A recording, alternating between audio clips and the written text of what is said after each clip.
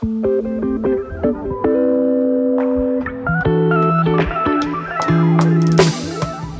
welcome back to another race vlog. This weekend, myself and my sister are going to be doing the Oxford Half Marathon. Um, a big thank you to ProDirect Running for sponsoring today's video uh, and actually getting myself and my sister in the race. Um, we're going to be trying out some Hoka gear um, more importantly, the Rocket X2, which are the latest carbon racing shoes. Um, we're going to be taking them across the half marathon distance and giving them a good try. So expect a little bit of a review on that shoe towards the end of the video. But as for today, it's Saturday, the day before the race. Um, we're driving up to Oxford this afternoon. Um, staying in a little Airbnb tonight and then the race is tomorrow morning. I have had a little bit of a niggle this week which has been a little bit odd. Um, a little bit of numbness in my left quad.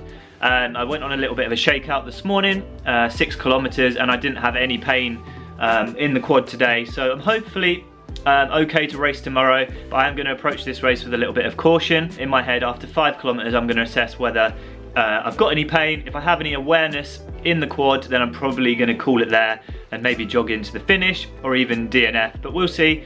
Um, this isn't an A-goal race for me, so important. the important thing is just to protect my legs, um, ready before my trip to Kenya, which is in two weeks time, and just have a little bit of fun. But if it, all things go to plan, no plane, uh, then I plan to, to give it my best tomorrow at the Oxford Half and see how competitive I can be. There's 13,000 runners, so hopefully there'll be some strong competition up the front um, and we can run a quick time. The weather in the UK has, has changed today. Went for a run this morning. It's definitely long sleeve weather now. Um, I think it's about six or seven degrees when the race starts tomorrow. So yeah, it'll be a little chilly one. At least it's not too hot. Um, it'll be a good race and hopefully have a good weekend with my mum and sister and uh, my sister's boyfriend Dan. I'm just waiting to get picked up. Just the small bag uh, coming with me this weekend. Um, but yeah, should be a good laugh and really looking forward to, to doing the Oxford Half. Have no idea uh, if the course is fast, if any fast people are going to be doing it, but we'll see. Gonna go along, have some fun, eat some good food, and spend some good time with my mum and sister. That's the plan.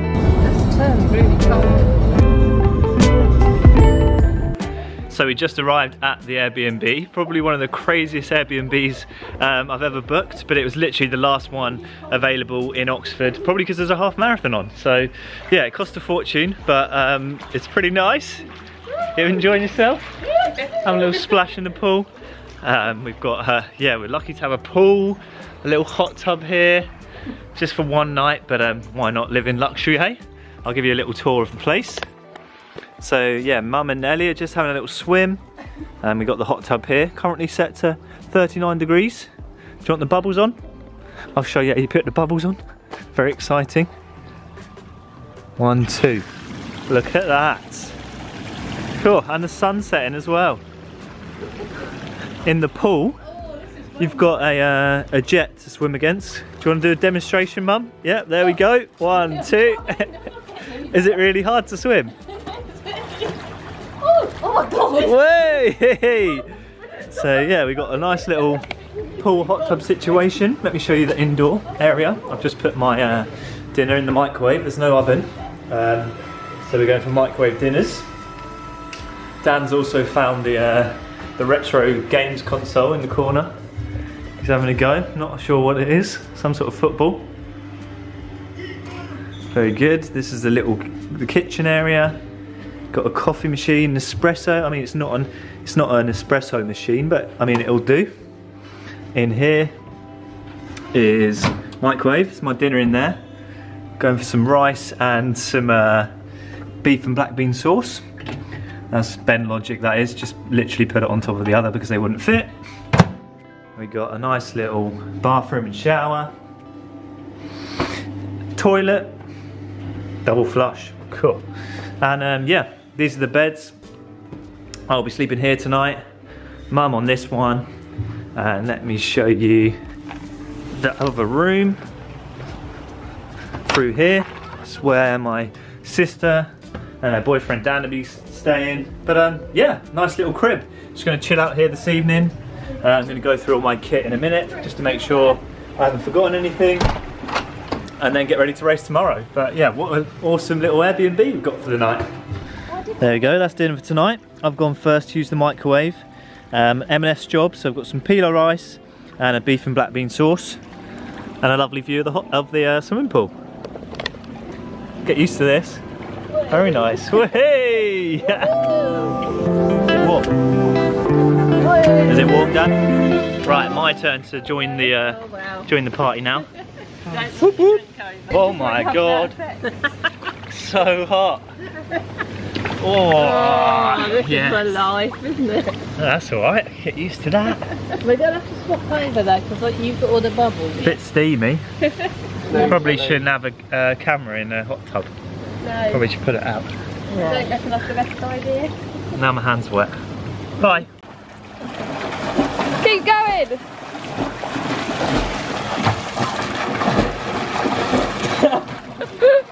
Yes! oh god. the next day.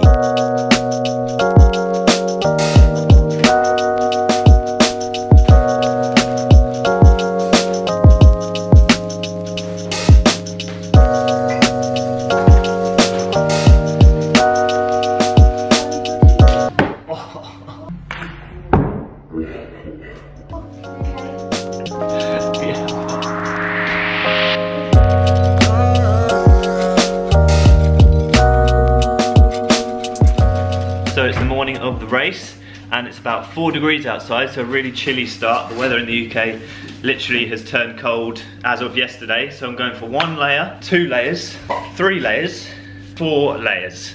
That should keep me warm. Not gonna get cold in the start pen. It is now about 7.15 or 7.30, so about two hours until the race starts. Um, so we're gonna leave the Airbnb and head down to the centre of Oxford for this one. Just gotta put my contacts in, have my porridge, and then uh, we're ready to go. Nothing like race morning than eating porridge out of a pot.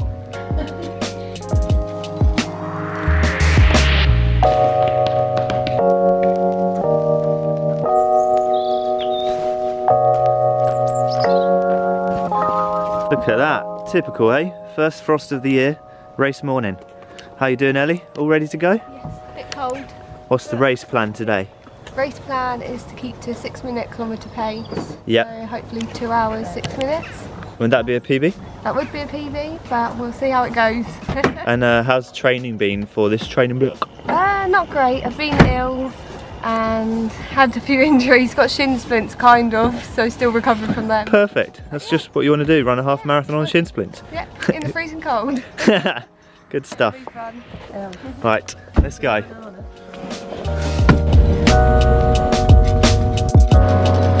So we're just on the way to the event village. It is freezing. You can see our breath today. It's about three degrees at the moment. Hopefully it warms up a little bit, but I've come prepared. I've got a coat, jumper, gloves.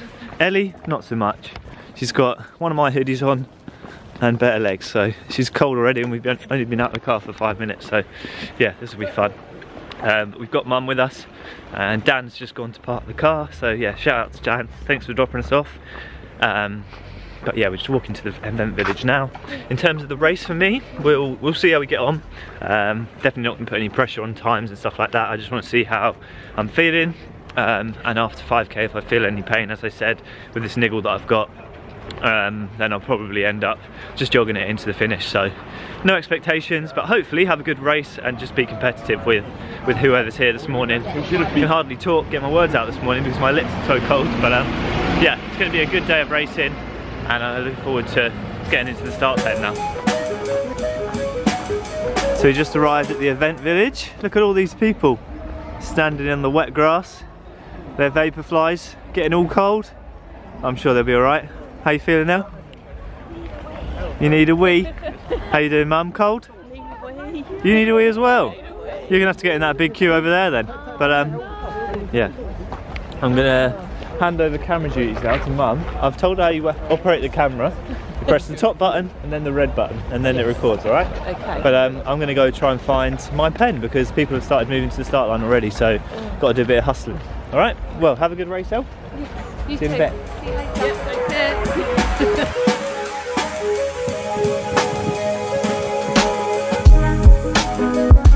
just found the start line. Can calm the nerves now a little bit. It's always a little bit of a worry to try and find where the race actually starts um, with all these big organised events. But yeah, found B and an A pen. Let me show you the see how close I can get to the start line. Show you a little bit of it.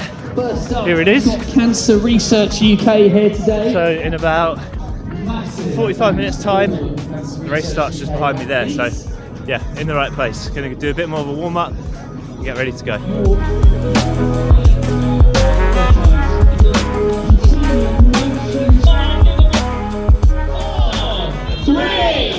Two, one. Here we go. Oxford Half Marathon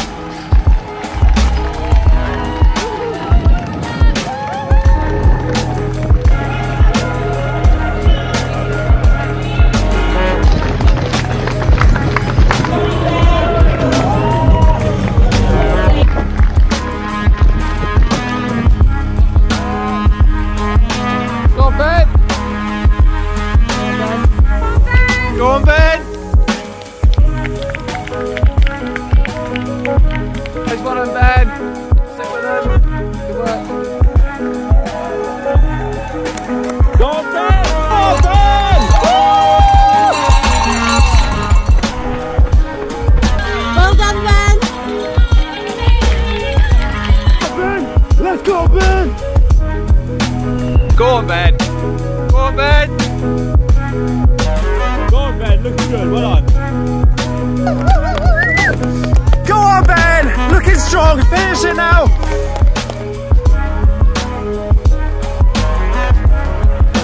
Go on, Ben! Keep working! Straight to third! Go on, Ben! Well done, Ben!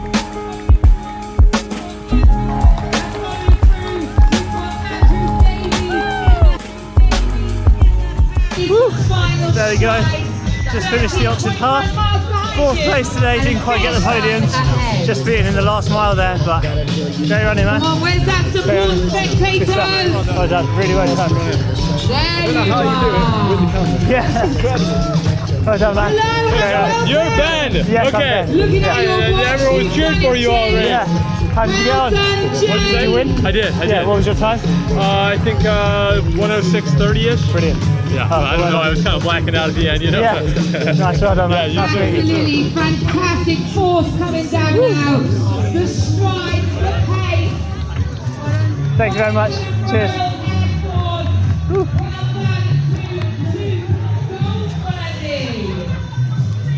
There we go, got the bling. So finishing time was 1 hour 7 and 40 seconds. It's about 25 seconds off of PB. So yeah, pretty chuffed for that on that course. Thank you very much. Thank you. Well done, Ben. Thank you. Well done. Got my medal. One hour and seven minutes 40 seconds. So Wow. not quite a PB, not quite a podium, but very happy with the run. Pretty good. Yeah. Solid performance. Well done. Good to watch. Yes. Yeah. Brilliant. There's a lot of people here. Really, really Twelve busy. I think they said. 12,000. Twelve thousand. Well, PB 73, 50, 53, 55. Just quick under. They really do it. Yeah. So here's Mum after the race. How do you think that went today? Really well. Really well. Bit, bit, bit cold, but Yeah. Did you get cold watching it or cold feet. cold feet? Cold feet. Yeah. Yeah. Yeah. Um, but yeah, good race. Yeah. We're gonna go find out how Ellie's got on now. Yeah. Should yeah. be about another 40 minutes and then Got a good feeling she's going to get a PB. you reckon? Yeah. Yeah. Yeah. Let's hope so. Should we go find her? Yeah. Yeah, let's go find Go her. and Yeah. find her. Come on Ellie, let's go! Come on! So we just saw Ellie go through the 13 miles, so less than 0.1 to go. Um, she looks like she was struggling a little bit.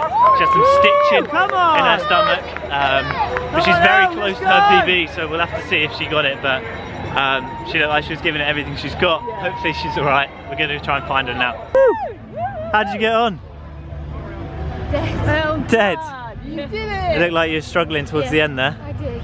Yeah? I wanted to cry. Oh. Yeah, done it. You did it. What time did you get? I didn't realise you get a t-shirt. Oh, you got a beer as well. Yeah, I didn't get. I didn't go through there. I was a naughty boy. So go and get one. I jumped the barrier. Nice, They've got his medium anyway. Ah, nice. What was your time? I think like two hours eleven. Oh, okay. That's pretty good. It's about wet. Dying. Yeah, well done. Had a new gel and let's just Yeah. say it made me gag. It Oh, really? like medicine. What, you- Very flavour. You're telling me you used a new gel on the race day? Yeah. Oh dear. Oh dear. Oh dear. Lot to learn, but yeah, well done, El. Good job. Let's have a look at your t-shirt, El. So just finished the race, going for a bit of Zizzi's for lunch, bit of pasta, bit of pesto pasta maybe, some pizza to recharge the old engines after today's race. Oh, it looks quite busy. Should be a table there. What have you got for dinner, El? Bit carbonara. Mum, what have you gone for? The sea bass, Lovely bit of sea bass. potato. I've gone for a calzone. Dan, bit of lasagna. Too hot to handle though. Oi oi. Just finished Pizza Express. What have you got there, El? crispy. Oh yeah, let's have a look. Oh, A few moments later. A few moments later.